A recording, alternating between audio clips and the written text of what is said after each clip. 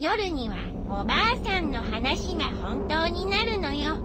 逃げなさい、若者。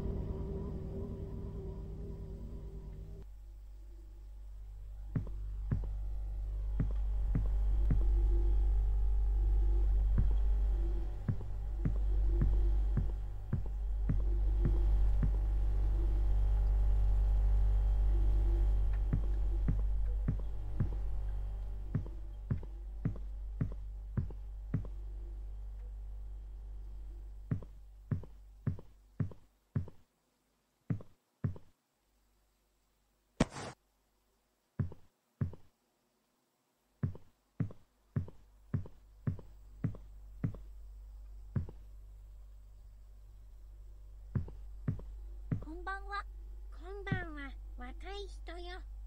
聞いたかしら？テケテケの事件のこと。あ、いいえ、それは、テケテケって都市伝説の話ですよね。そうそう。あなた若いから知らないかもしれないけど、最近その話が現実になったのよ。恐ろしいことよ。えー、本当に？何があったんですか？今夜、この町で彼女が現れたら二度と逃げられないわ。気をつけなさい、若い人よ。気をつけなさい。は、はい、気をつけます。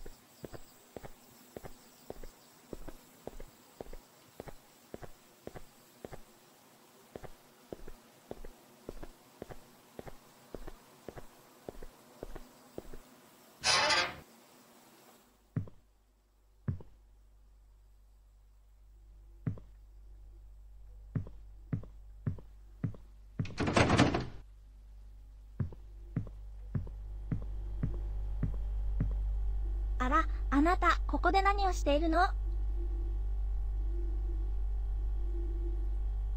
なるほど。ちょっと待っていて、すぐに戻りますから、戻ってお店でお待ちください。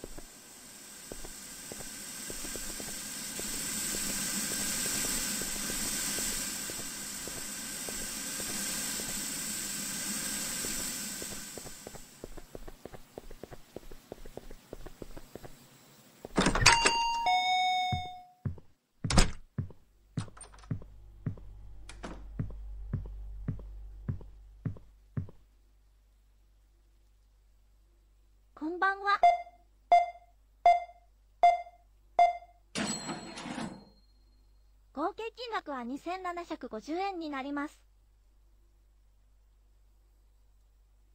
あ、あのおばあさんはちょっと変わった人だと思います。夜になると不思議な話をよくされるんですよ。では、お釣りをお返します。